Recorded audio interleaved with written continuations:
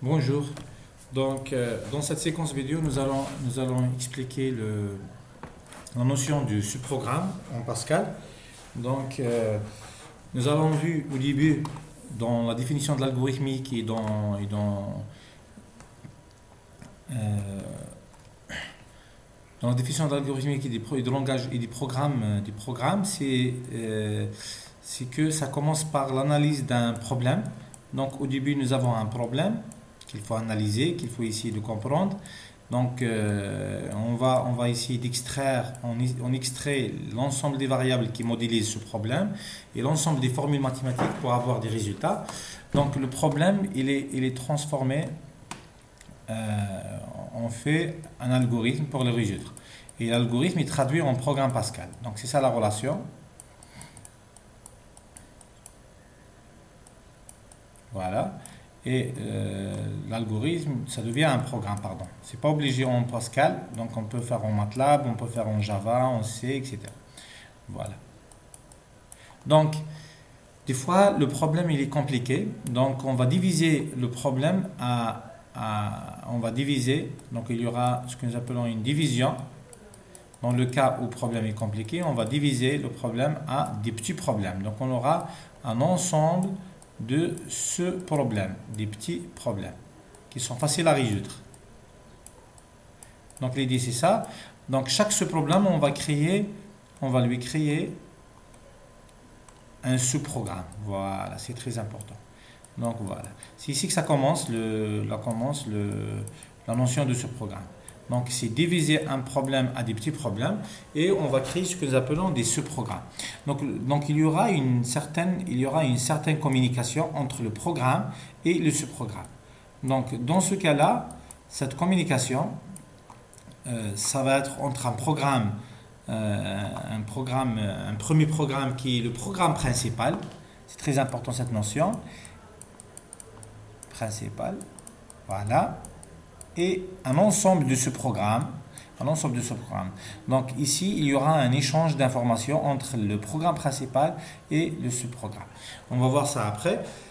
Donc en Pascal, les sous-programmes, nous avons deux types. Nous avons les procédures et les fonctions. Voilà. Les procédures et les fonctions. Voilà. Donc, on va voir euh, comment en utilisant, comment nous allons exploiter le sous-programme en langage Pascal. On va voir ça. Donc c'est très important maintenant cette notion, la notion du- de division, de, de répartir le programme initial à des sous-programmes, des sous-problèmes. Après résoudre chaque petit, petit problème séparément, ça devient plus facile. Donc au début nous avons vu que un programme il est constitué de trois parties. Il est constitué de la partie en tête. Donc la partie en tête, c'est c'est programme, l'identifiant du programme. Voilà, voilà. Du programme, voilà. Et dans l'environnement de dans l'environnement de de, Pascal pour Windows, nous utilisons la bibliothèque USS WinCRT. Elle est nécessaire pour l'exécution. Voilà. Donc on va considérer que on va considérer que ce délai là c'est l'entête. Donc ces deux parties là c'est l'entête. Ces deux parties là c'est l'entête.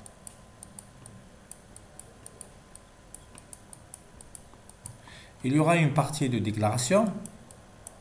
Donc il faut déclarer tous les objets nécessaires, tous les objets nécessaires pour l'algorithme bien pour le programme. Donc on a vu, euh, euh, que dans cette partie on peut déclarer des constantes, on peut déclarer des variables, souvent on déclare les variables, on peut déclarer aussi les étiquettes. Par- parmi les choses que nous avons déclarées, les étiquettes, les labels. Après ça vient la partie du corps du programme, le begin. Donc la partie du corps, elle est délimitée par le begin et le end point, la fin du programme.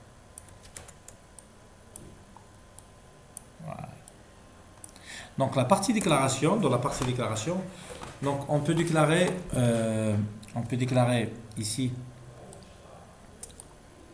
les variables. D'abord, on peut déclarer les constantes. Ce n'est pas, pas souvent qu'on déclare les constantes. Il y a des problèmes où nous aurons besoin des constantes. Par exemple, l'exercice de la valeur de pi, on a déclaré pi comme étant une constante. Nous, pouvons déclarer hum, euh, éventuellement les variables, les étiquettes, on va voir aussi dans un exercice, euh, dans les procédures des fonctions, on peut déclarer les types, les nouveaux types, etc. Donc les étiquettes, c'est les labels en Pascal. Label. Voilà. Donc parmi les objets qu'on peut déclarer aussi, c'est les subprogrammes. Donc nous pouvons aussi déclarer les subprogrammes. Donc les subprogrammes, les subprogrammes, la définition d'un subprogramme, elle, sera faite, au niveau de la déclaration du programme principal. Donc ici, les subprogrammes. Donc, c'est quoi la syntaxe d'un sous-programme Donc, un sous-programme, il a une structure identique au programme principal. Donc, il possède un en-tête, il possède une partie déclaration pour les, objets locaux, pour les variables locales, il possède la partie corps. Donc, ici, il y aura l'en-tête. On va voir en détail après. En tête, on aura une partie déclaration pour déclarer les variables locales. Il y aura début et fin.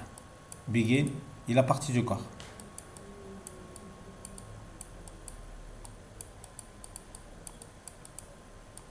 Point virgule ici, end point virgule. Ça, c'est la partie instruction. Voilà, du programme. Donc, si on définit un sous-programme comme ça, au niveau de la déclaration, et, et on ne fait pas référence à ce, programme dans la partie instruction ici, au niveau du programme principal, il n'y aura aucun effet, il n'y aura aucun résultat pour le sous-programme. Ça veut dire, si vous faites une déclaration d'un sous-programme et vous ne l'utilisez pas dans le programme principal, c'est comme si vous ne l'avez pas déclaré. Donc, ce n'est pas nécessaire. Donc, il y a deux choses. Il faut tout d'abord déclarer un sous-programme dans la partie déclaration. Ensuite, il faut l'utiliser. Donc, utiliser un sous-programme en Pascal ou bien dans, le langage, dans, dans, la programmation, on appelle ça, on dit ça, c'est l'appel de ce programme. Donc parmi les instructions qu'on peut trouver ici, la lecture, les entrées, les sorties, euh, l'affectation, les tests, les boucles, on peut avoir éventuellement l'appel de ce programme. Donc c'est quoi l'appel de ce programme? C'est l'appel de ce programme, c'est demander l'exécution de ce programme. L'appel de ce programme. De ce programme. Donc voilà, il y a deux notions très importantes ici. C'est euh, la notion de déclaration du sous-programme et la notion d'appel au sous-programme. Donc on déclare un sous-programme pour définir qu'est-ce qu'il fait, le sous-programme, quelles sont les instructions qu'on peut exécuter dans ce sous-programme, etc. Et dans l'appel au sous-programme, on va demander son exécution. C'est très important cette notion. On va passer euh, à la schématisation de, l'appel.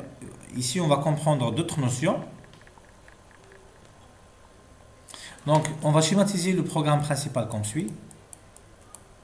Voilà. Ici, begin. Donc, bien sûr, il y a une partie déclaration. Ici, la partie, les instructions du programme principal. Ici, end. On va schématiser l'appel à un sous-programme. Ici, end point. Ici, euh, on suppose qu'ici, il y aura un appel. Donc, ça veut dire quoi l'appel? L'appel à un sous-programme. Ici, il y aura le sous-programme. Donc, il possède un begin, la partie instruction, et end point virgule. Donc, dans l'appel, dans l'appel de ce programme, il y aura ce que nous appelons deux phénomènes. Il y aura le phénomène d'appel, l'exécution des instructions et le retour.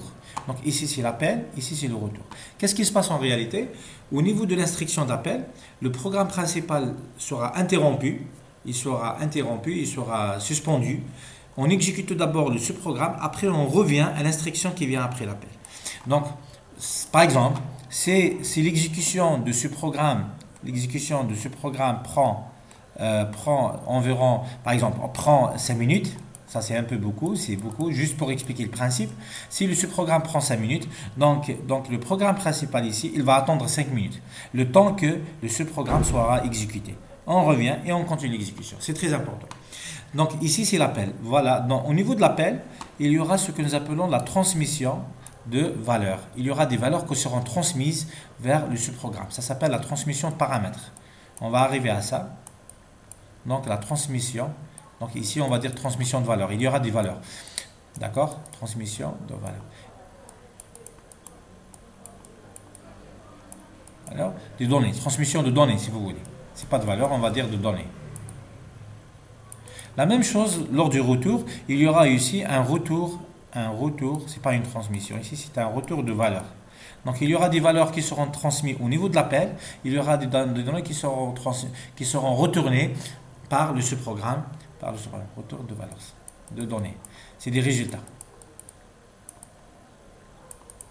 Donc voilà, donc c'est très important ces deux notions. Donc au niveau, au niveau de l'appel, il y aura des valeurs, il y aura des données qui seront transmises du programme principal vers le sous-programme. Il y aura d'autres données qui seront à la fin, à la fin de l'exécution du sous-programme, il y aura des données, résultats, qui seront retournés vers l'appel, qui seront retournés vers le programme principal. Donc il y aura une communication entre le programme principal et le sous-programme. Ça c'est très très important.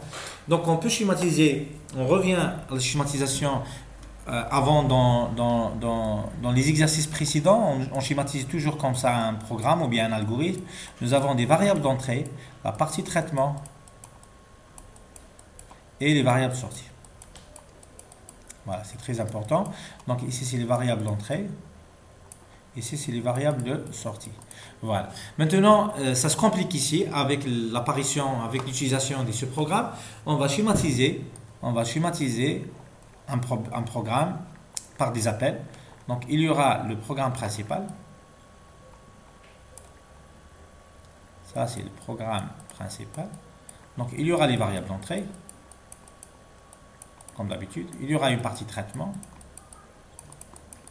Donc dans la partie traitement, on peut appeler un autre programme. Il y aura les variables sorties. Nous avons vu que les variables d'entrée, donc ça c'est le programme principal. Donc nous avons vu que les variables d'entrée, ça devient des lectures, read, l'instruction lire, lecture. Les variables de sortie, ça devient des écritures, l'instruction écrire en algorithmique, write en Pascal. Donc dans la, partie traitement, on peut avoir éventuellement des appels, un appel à un sous-programme. On aura un sous-programme. Ici, c'est le sous-programme. Le sous-programme, il peut avoir euh, si vous voulez, on peut dire variable d'entrée, mais on va voir, et ici variable sortie. Donc les variables d'entrée, on les appelle les paramètres d'entrée, c'est des paramètres. Paramètres, paramètres d'entrée. Et ici, c'est les paramètres de sortie, si vous voulez. Paramètres, paramètres de sortie. Donc, c'est pas comme le programme principal. Le programme principal pour les variables d'entrée, c'est la lecture. Pour les variables sorties, c'est l'écriture. Par contre, au niveau du, au sous-programme, les variables d'entrée, c'est des paramètres d'entrée. Les variables sorties, c'est des paramètres de sortie. On définit ce que nous appelons le type de passage de paramètres. donc, dans les variables d'entrée, on va utiliser le, le passage de paramètres, la transmission de paramètres ou bien le passage de paramètres par valeur. C'est très important. Transmission de paramètres par valeur. Et ici, pour les, pour les paramètres de sortie, on va utiliser la transmission de paramètres par variable. C'est très important. On va voir le détail technique après pour les exercices. Donc, euh, les paramètres, les paramètres d'entrée, les paramètres d'entrée ou bien les paramètres d'entrée, c'est le, on va faire la transmission de paramètres par valeur. Réellement, chaque paramètre, on va le déclarer de façon très simple, sans ajouter le mot-clé var. Par contre, pour les paramètres de sortie, transmission par variable, chaque paramètre transmission de sortie, il faut ajouter le, mot-clé var. On va voir ça après. Donc, qu'est-ce qui se passe ici en réalité? Il y aura ici un traitement spécial, un traitement de un traitement du sous-programme. Ça veut dire le traitement du programme principal, à un certain endroit, il aura besoin du traitement du sous-programme. Il va l'appeler. Il y aura ici l'appel. Donc, il y aura l'appel. Lors de l'appel, lors de l'appel, le, le, programme principal fournit les valeurs des paramètres d'entrée. Il doit fournir. Si nous avons 5 paramètres d'entrée, il doit fournir 5 valeurs. Si nous avons 10 paramètres d'entrée, il doit fournir 5 10, valeurs, etc. Donc, il doit fournir les valeurs des paramètres d'entrée. Il, s'exécute le programme, il va s'exécuter. À la fin, dans le retour, ici le retour, il y aura le retour des variables, des paramètres de sortie. Donc, ici, on aura les résultats. Les paramètres de société et le résultat. Et le programme continue avec les résultats pour calculer d'autres choses. Donc voilà, c'est très important. Donc j'espère bien que vous avez compris. On va voir des détails techniques après dans les exercices, à partir de l'exercice numéro 1 de la série numéro 3. Donc on va les voir en détail. J'espère bien que vous avez compris.